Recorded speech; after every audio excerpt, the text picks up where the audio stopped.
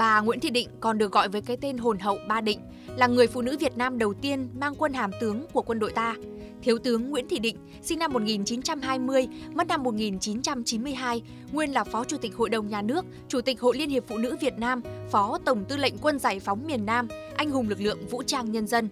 Tròn 16 tuổi, người con gái quê hương Bến Tre tham gia cách mạng và trong suốt 72 năm tuổi đời, 56 năm hoạt động cách mạng, Thiếu tướng Nguyễn Thị Định nhiều lần bị địch bắt tù đày, tra tấn dã man, nhưng bà một lòng trung kiên, cả đời phấn đấu vì sự nghiệp giải phóng dân tộc, giải phóng phụ nữ.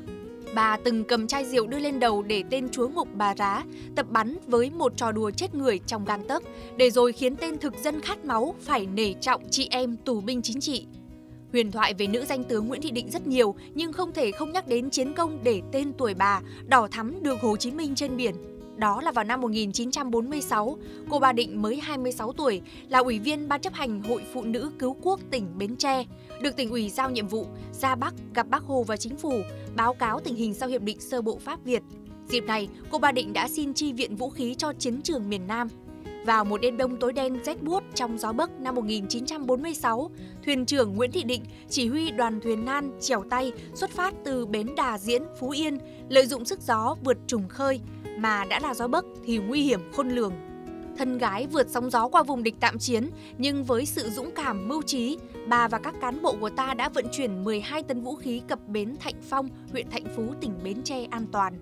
Đây là dấu ấn đầu tiên để mở ra con đường huyền thoại mang tên Bắc Hồ Kính Yêu trên Biển Đông, cũng là chiến công đầu đời nhuốm màu huyền thoại của vị nữ tướng duy nhất của quân đội ta trong hai cuộc chiến tranh vệ quốc vĩ đại thế kỷ 20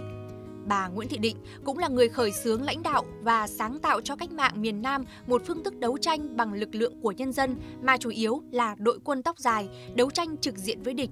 Vậy mà ít ai biết bà Ba Định từng vá áo cho chiến sĩ quân giải phóng tại chiến trường. Nhưng người mẹ ấy đã không có dịp được vá áo cho người con trai duy nhất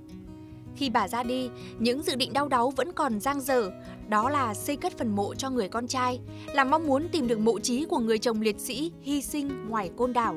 Sau này, đồng đội đã giúp bà hoàn thành di nguyện. Bác Hồ đã dành lời khen ngợi cho nữ tướng quân trong thời đại của người. Cả thế giới chỉ có nước ta có vị tướng quân gái như vậy, thật là vẻ vang cho cả miền Nam, cho cả dân tộc.